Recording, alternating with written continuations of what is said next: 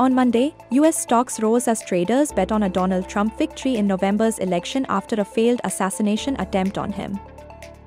Goldman Sachs cut its forecast for China's GDP growth to 4.9%, while JP Morgan revised its prediction to 4.7%. On Monday, Bitcoin hit a two week high, rising by 6.2% due to the suggested higher chances of a Trump victory. On Tuesday, Asia Pacific markets opened mixed following Jerome Powell's comments on central banks' interest rate cuts. China's Q2 GDP disappointed at 4.7%, with weak spending offsetting recovery in manufacturing and industrial production. Starting 16 July, the Indian government has increased the windfall tax on petroleum crude from 6,000 rupees per metric ton to 7,000 rupees.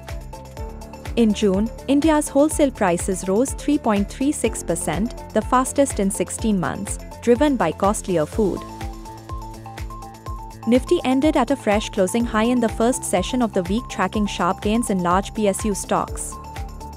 At close, Nifty was up 0.35% or 84.6 points at 24,586.7.